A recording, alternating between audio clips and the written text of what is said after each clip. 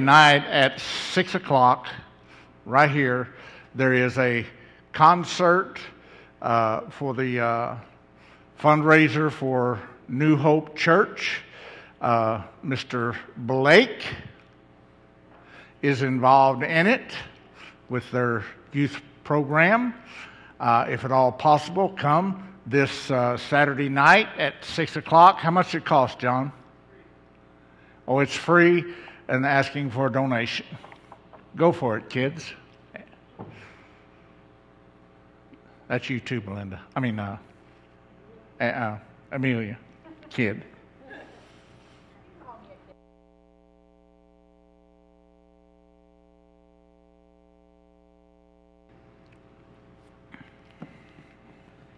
Have your Bibles. We're studying a time to build.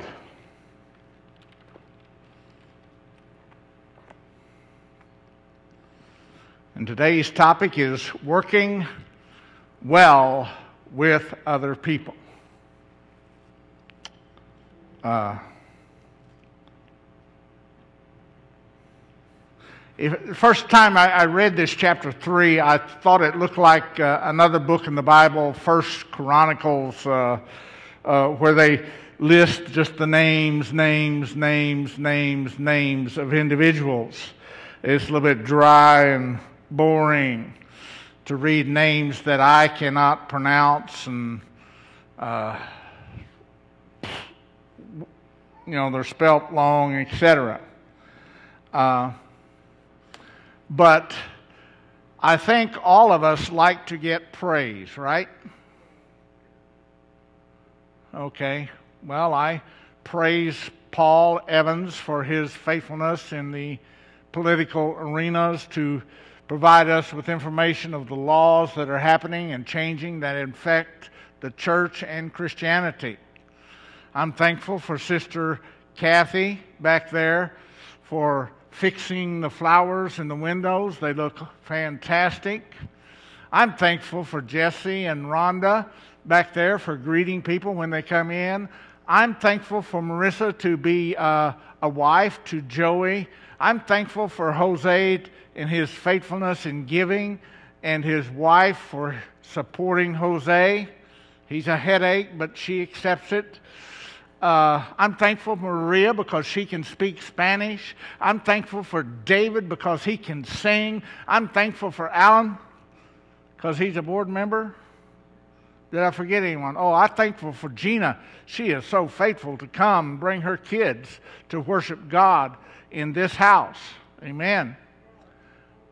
Oh, I'm thankful for John back there. John is so faithful to serve this church. He's part of New Hope, but he serves this church by working with the sound and equipment. I'm thankful for Pastor Linda for putting up with me. I'm thankful for Sarah, uh, her service back there. See, I, I could praise every person here I'm thankful for Sherry. She's not paying attention, but that's all right. Someone tell her later that I was talking about Sherry and she missed it. Uh, I'm thankful for Linda. She cleans the church so fantastic. Mabel is awesome worship leader. Rachel, she collects that money. Yeah. She's the most important one here. Oh. Then there's Blake and Joey and Kent and Rebecca. And See, everybody in this church. See, names are not boring. Now, we read this chapter, and it's just a list of name, name, name, name, name. Uh, uh, escape there, Blake. Hit the escape button. And uh, I'm not going to talk about this guy. Um, our, our text today is basically a list of names of people who have achieved things. Now, there are a few names that were not on that list because they didn't do nothing, did nothing. And I find it interesting that Nehemiah's name is not in this list of names in the book of Nehemiah, chapter 3. Himself is not named. And I think that reason for, we'll go to uh, the uh, 586 BC slide. I, I think the reason why is because he didn't want uh, attention drawn to him. And uh, a little bit of history, in, as we told you before, in uh, 586, uh, Nebuchadnezzar and the Babylon, Babylonian armies captured uh, the Jews. Uh, Jerusalem was destroyed, the walls knocked down, etc. We've talked and talked about that. But during this, and they were taken off to captivity. But during this time, God did not forsake the Jewish people. I hope you understand. Oh, I forgot to talk about Hilda. Hilda is a fantastic accountant. Uh, board meeting tomorrow night. And uh, Beth is uh, fantastic tapper. She's reading. We talked about you also, but uh, you'll have to ask somebody what I said about you also, same as equal sharing. Uh,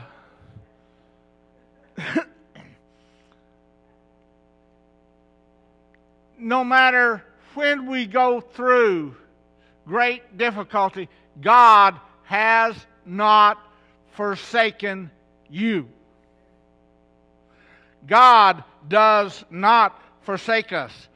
During this time in captivity in Babylon, uh, God set up a new king, uh, Cyrus, and that king made an order that Jewish people could go back home, uh, a group, a group, and a group over a time frame of 100 years. He sent people, and when they arrived at Jerusalem, they were in shock because the place was in a wreck. Through Nehemiah's prayer in chapter 1, we learned that he was concerned about the problems in Jerusalem's desolation. He was uh, convicted about God's character. He confessed his sins. He was confident about God's promise. And he was committed to get involved. We have to become committed to get involved. We learned he had five tools, right? In his toolbox waiting, trusting, praying, planning, testifying. Where's the slide, Blake? Ah, uh, he also, you're way behind. Oh, no, you're way ahead now. He also had uh, five tasks. He replenished his uh, resources, he assessed the need, recruited workers, inspired confidence, and handled opposition. And then in chapter 3, he takes 44 different groups of people and puts them to work. And in this chapter 3, it shows people working together. Hmm. I hope you could underline in your Bible every time you see the words next to him, next to them, after after him, and after them. I counted it up, and I, well, my Bible, I underlined it yellow and marked it, and I think I missed one because uh, my Bible in the computer said that 28 times, but I only found 27. So I challenge you to underline in your Bible and find the 28 times it says those words there. You see, this chapter is about working together. Every person is to be involved in ministry because everyone has a job to do. Sometimes it's hard to find the right job. I hope you like your job wherever you work. David likes his job. What do you do, David? He makes vitamins. Vitamins. I hope you like your job. Sometimes it's hard to find the right job. I gave you a paper. It was a uh, play on words. It's for hearing people basically, but you know, the guy got a job making orange juice, but he could not concent- concentrate. You know, that's orange juice, whatever. Some of us are doing exactly what we're supposed to do, both with your work in the, your career and also in the kingdom of God. Other people are struggling. Oh, they have a good job in the world, but they're struggling with their spiritual jobs. And I thought maybe this would make you feel better. Um, someone said, Life, I like work. This is me. I like to work. Work fascinates me. I can sit and watch them work all day long. yeah. When it uh, comes to work for the Lord, there's no place to sit back and watch. Be a spectator. Be a couch potato. Is that the next one? No. Maybe I didn't put it on there. These, these workers accomplished an incredible task. They beat the world record with it. The purpose of work.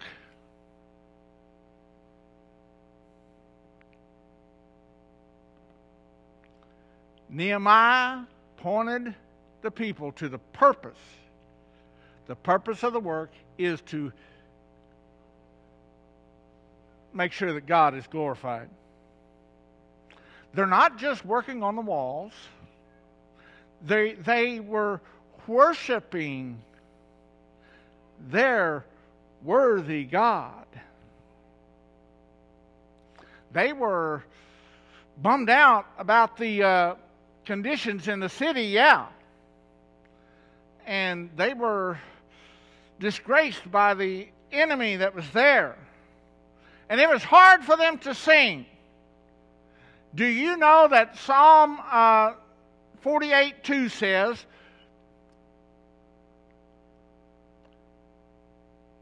describes Jerusalem. Beautiful is thy loftiness and the joy of the whole earth. That song was rough to sing for the Jewish people in, in Jerusalem because Jerusalem was collapsed and demolished. They wanted to see the power and the glory and the awesome splendor of Jerusalem like it was before. 1 Corinthians 10:31 Whatever you find to oh, uh, whether you eat or drink or whatever you do, do it with all in all the for, for glory for God.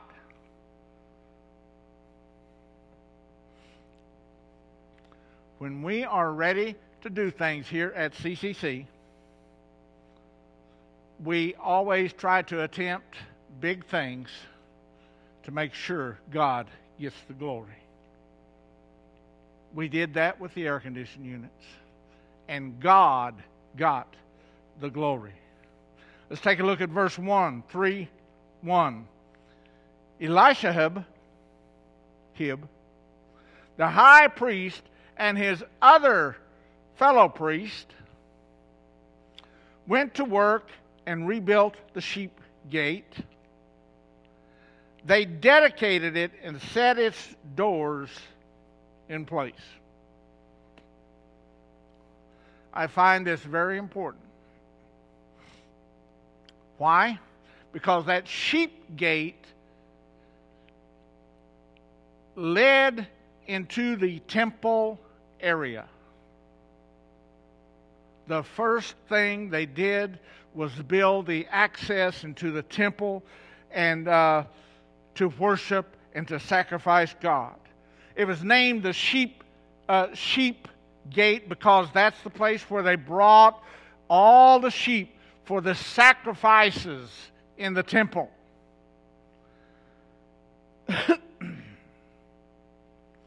By beginning there, in this construction process, they worshiped God first. It's important, it's critical. We do not focus on the task and forget about God. We need to remember God first. Remember that God is in control.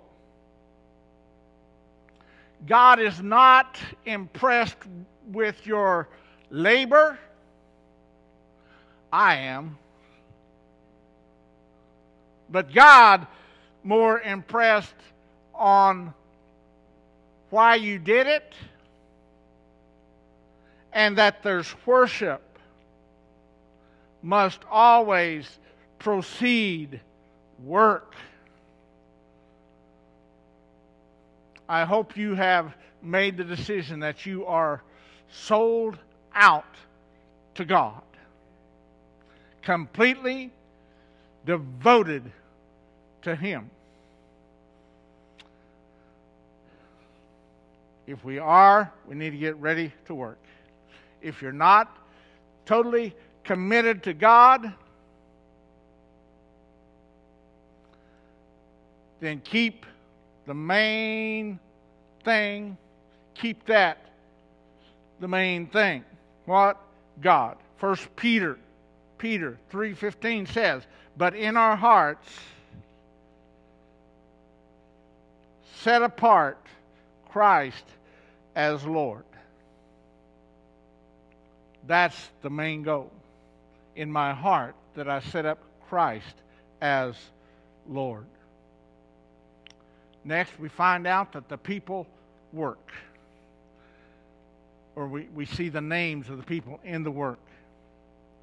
And if you've already read this book, you know that the wall was built in record time 52 days. You remember last week I told you how wide the wall? How much? How wide was that wall? I'm deaf. Carter, were you here? Oh, Blake told Carter three to four foot wide, and it was broke down. I'm glad Blake paid attention last week. How high was it?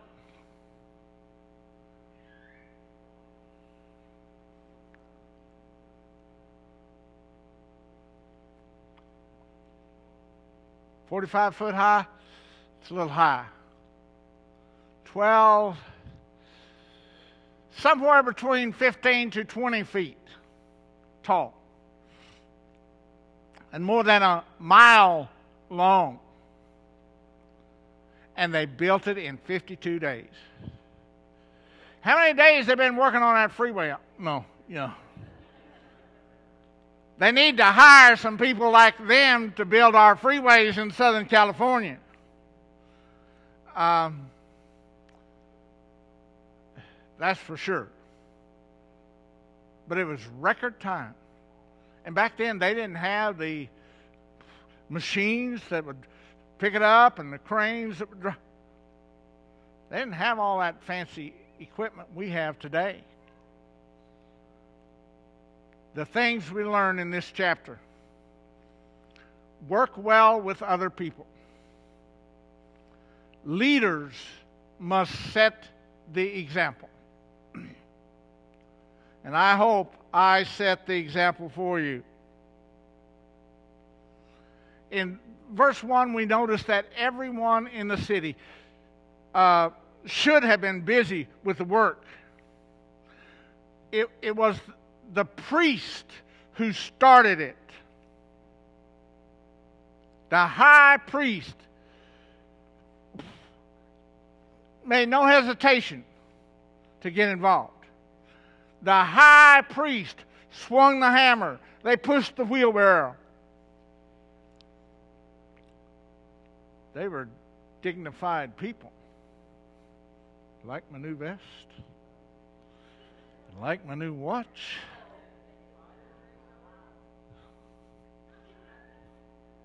You know? In their robes and all the glory about them. Stones of gold, etc. And I, I, I don't know if they changed into work clothes or not, but I know that I have work clothes over here in my office. I come to the office dressed up, and then I change to my work clothes, my overalls, and I work. Uh, but those men, the priests, were the leaders, and they are the ones who were involved first. They accept the joyful responsibility of not just preaching and not just building, but all together. They committed to be involved in everything. But it's sad that this uh, Eliahib, Elishahib, Elishahib, he didn't stick with it. He made some serious problems. If we read in Numbers chapter 13, tells us about, I mean, not Numbers, Nehemiah chapter 13, way over there, it tells us that Elishahib uh, made a lot of trouble later on that's a good reminder for you and I. It's not how we start, but how we end that counts. Secondly, God uses all kinds of people. You look at verse 8. Uzziel's son Harhaniah, one of the goldsmiths. He made gold and rings and jewelry and things. And what's he doing? He worked on the wall and repaired the next section. And Hananiah, one of the perfume makers, made repairs next to that. A perfume maker was carrying bricks, carrying wood, or whatever. I don't think they made the walls with perfume. But I'd sure like to work with that guy. I bet he smelled good.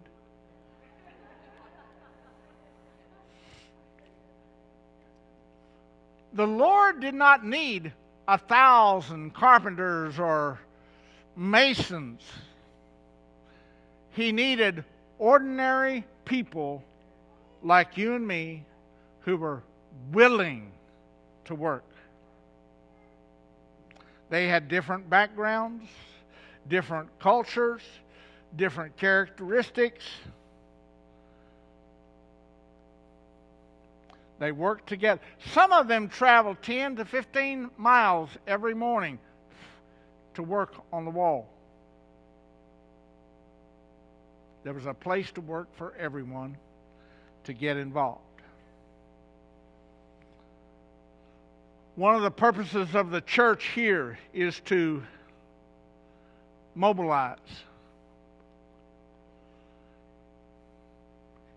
make sure that you are workers. And God has set up in each one of you a skill.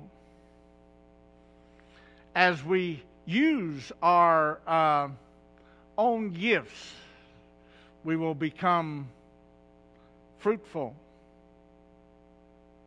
We will become filled. And the church will be fortified.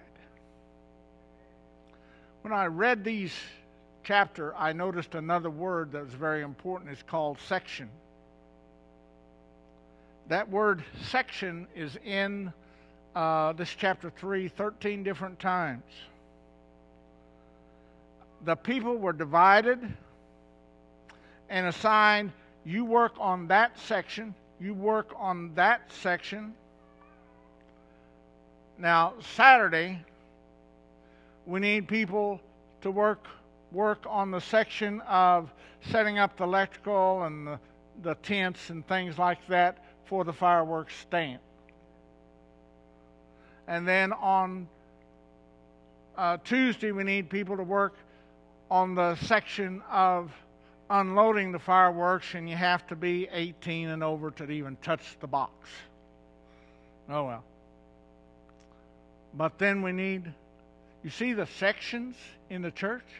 We need ushers to collect offering. We need people to clean the coffee area and take care of that. We need people to run the tech. We need people to sit in the pews. No one can do everything, but everybody can do something. Romans 12, 6 says, We have different gifts according to the grace given to us. Are you serving right now? I hope so.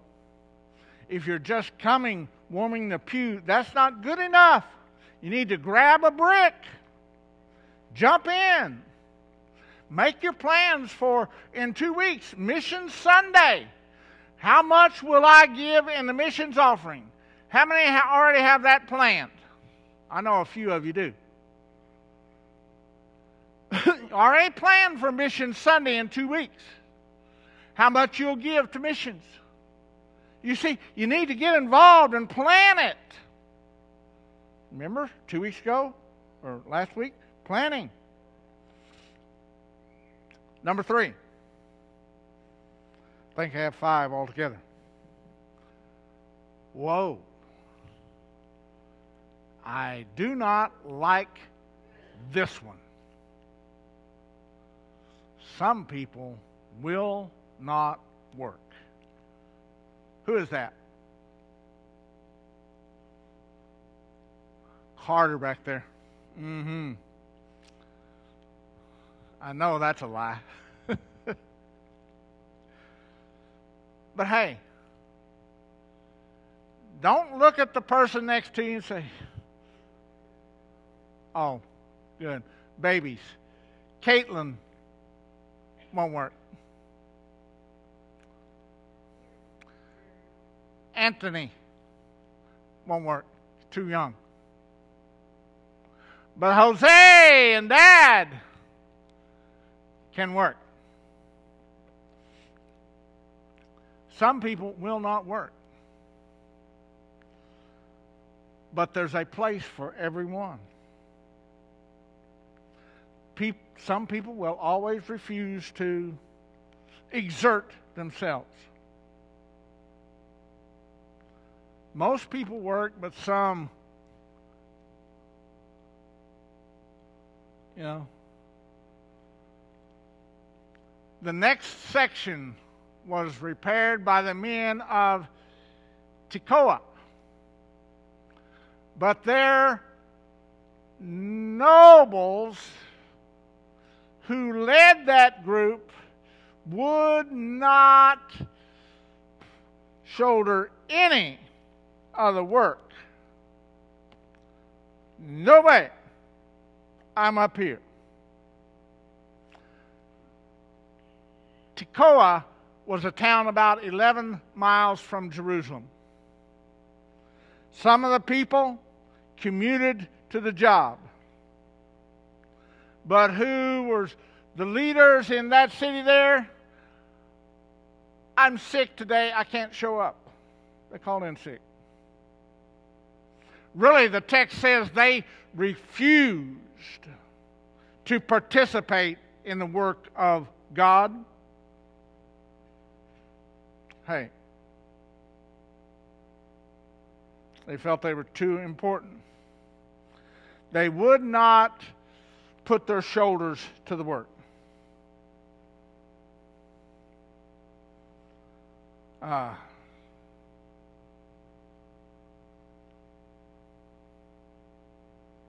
I hope there's no one here who would refuse to work, roll up their sleeves, and get involved. Because I'm too important. I teach a Sunday school class. I helped put the insulation in the chapel over here. That's a bad job. You have to wear a mask, you have to wear safety glasses, you have to have long sleeves. If you don't, you're going to get that glass all over you. I forgot to wear a hat last Thursday.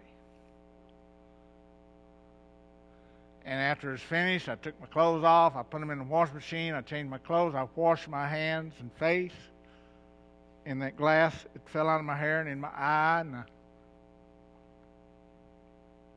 oh, I did that last Thursday.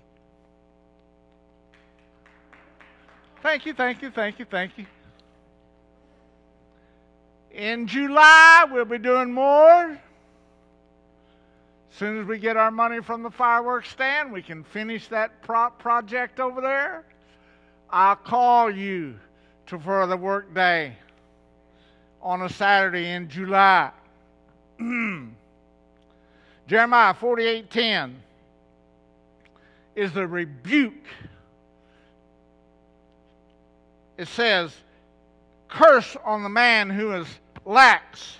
That's not the airport there, LAX. No, no, no, no who is lax in doing the Lord's work. And those who refuse to do the Lord's work also are missing out the greatest privilege of all time. I think it's wonderful to be involved in the Lord's work.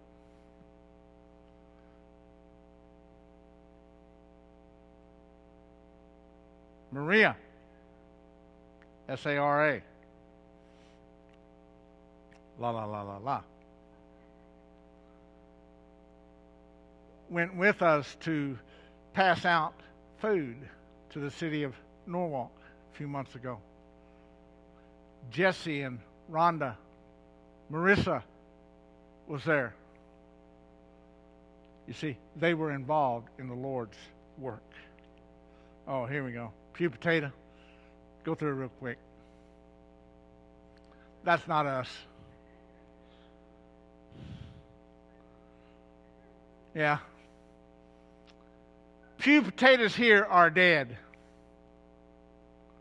No, I'll not say that. Uh, that's the name of a book. That's the name of a book. Pew, uh, death of a pew potato. We are not pew potatoes. Four, some do more work than others. In every church, you have that. Every project, you do that. There's some who do more work than others. In verse uh, 27, it says, Next to them, the men of Antioch repaired another section. Even though their rulers wouldn't be involved, the men who were working there finished their job and then went over and repaired another one. I don't want my leaders, they're bad examples. I will show them I and the people from that city are good workers. Nehemiah asked them if they wanted another section, and they said, Bring it on. We're ready.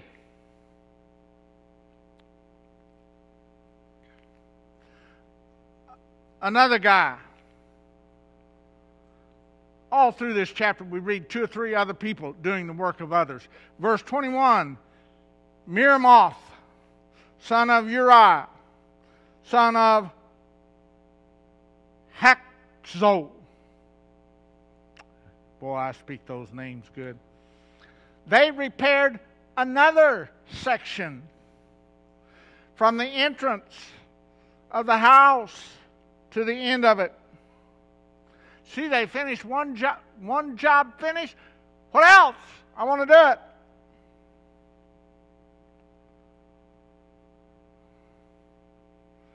Most of us finish the work that the pastor gives you. Your job is to do this, this, and this. Finished it. Ah, time to go home. But these men and women knew that the kingdom work was never finished. Kingdom work is never finished. We can't sit back and watch. Matthew 5 47 says, What are you doing more than others? Jesus asked that question. What am I doing more than Mabel? Oh, no, we're not setting up competition here. No. Five, some work with passion. Verse 20. Next to him, Baruch, son of Zabari, zealously repaired another section. The word zealous means to burn with fire. In verse uh, chapter 4 verse 6 says the people worked the people worked with all their heart. Everyone was working hard. Building a wall is not easy work. Everyone worked hard. But some of them worked with all their heart. If you ever need to hire somebody, I'll tell you, hire Jose. He works fast, hard worker.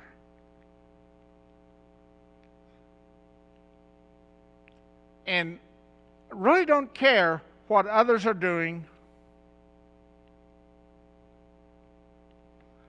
I'm going to do my very best. I saw this last July the 4th. Uh, you know, people working together very hard, doing their best. Oh, I had six. I thought I was finished at five. Some work with families. This is the final one. Some people work as families. They worked on the section in front of their home or they worked in another section with their families.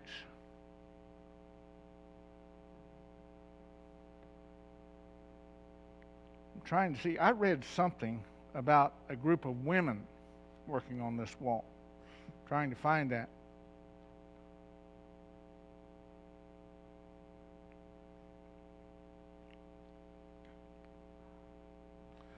We, we look at our neighborhoods uh, you need to look at your neighbor as your mission field.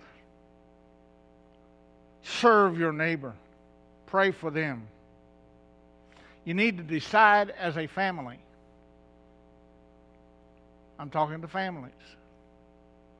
If your family is just your husband and your wife, that's fine. If it's just you, that's fine. But we need to pray. Let's go, Blake. Wake up. Pray, care, and share.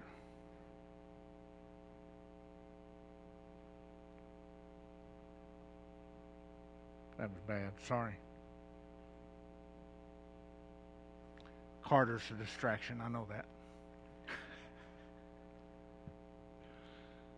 you see, our work gets distractions sometimes. And you just got to say, Carter, go sit over there.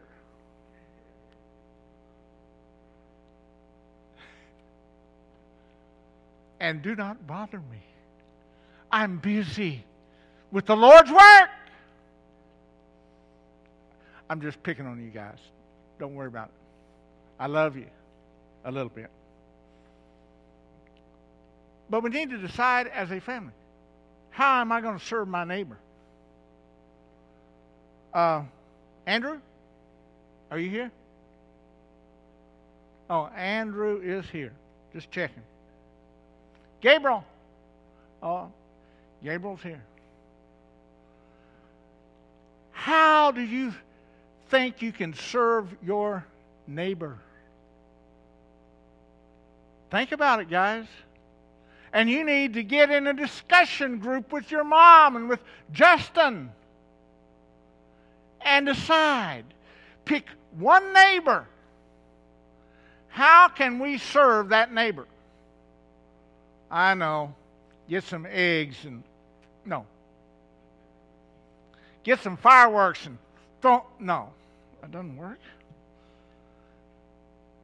If they have big fireworks, go over and clean up their yard after they're finished. Oh, that's a good job. Uh, we're called to start at the home. Oh, yeah, in verse, verse 12, it says, The daughters of Shallum worked on the wall. So, ladies, you're not exempt. The daughters worked, the families worked. Uh, we are reaching the world with this church. Yeah, the guy Pastor Linda talked about from Seattle watches on our website, clicks on the videos and watches them. People all over the country watch our videos. And sometimes I think, well, that's a waste of time and effort. But it is not. Lives are touched through that. John 15, 16, Jesus, he gave the word appointed, strategically uh, placed them. He gave them a an exact job to do. Yeah. God has placed each one of us in a strategically right place where He wants us to be. God's work to be done, we are called to cooperate together, work together. And we have to keep in mind the main thing is that God receives the glory. We will be getting the parking lot out here blacked, a new surface on it, and new white lines sometime in July. God is a faithful God taking care of this church. Our church is not going to pay for it an individual came to me and said, I want to do this. I said, Go for it. You have five grand? Go for it.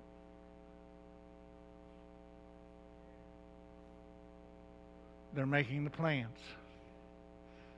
God is building this church, getting ready for great things to happen. I know this year is almost almost gone.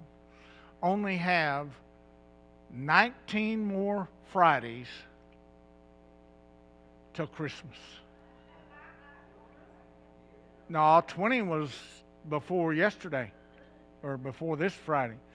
Sarah's going to check it out. She thinks I'm wrong. I'm pretty sure it's only 19 more Fridays before Christmas. But between that time, I see God doing great and awesome and mighty things in this church. Leaders have to set the pace. God uses all kinds of people. Some will not work. Some will do more work. It's not. 26.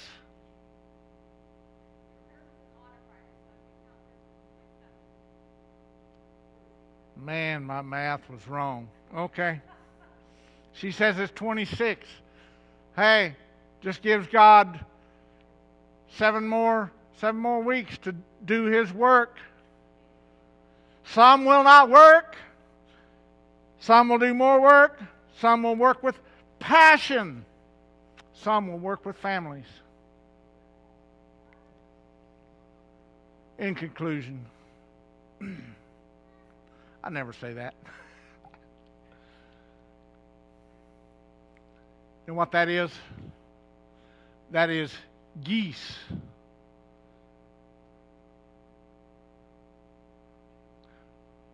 One is a goose, a group is geese, not Greece.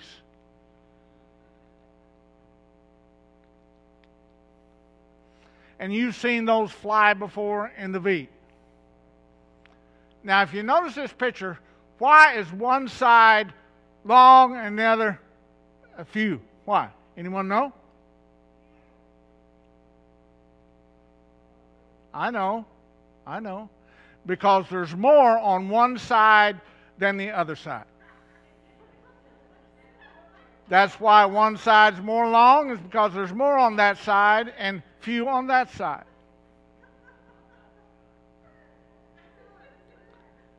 Now, there's no important reason why that happens that I, I could research.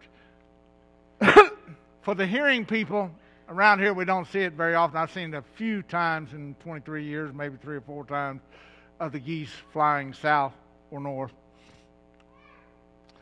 But always I hear them first honk. Do you know which ones are doing the yakking? She says the leaders. No, it is not. It's the ones on the ends who are yakking, encouraging. I always wondered why some people in the church just yak, yak, yak, yak, yak, yak, yak, yak, yak, yak. Oh, no. Now I real I will never criticize a blabbermouth. I mean a I mean a uh, encourager again. Yeah, the ones in the back to encourage them on. And they fly in that V because the front one makes the air go up, up, up. If one goose was flying by themselves, they could one day could fly from here to here. But as a group, they're able to fly in one day from over there to over there.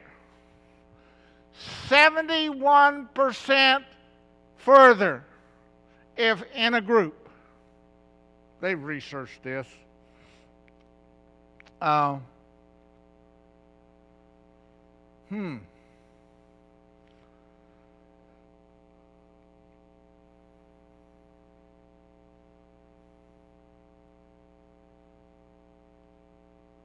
I think there's a lesson to learn from this. Their instinct is to work together to accomplish more. When we work together for the kingdom of God, we can accomplish more and more. I'll say yes. Worship. We're going to do I will say yes to the Lord. I hope today you will declare yes to the Lord's work.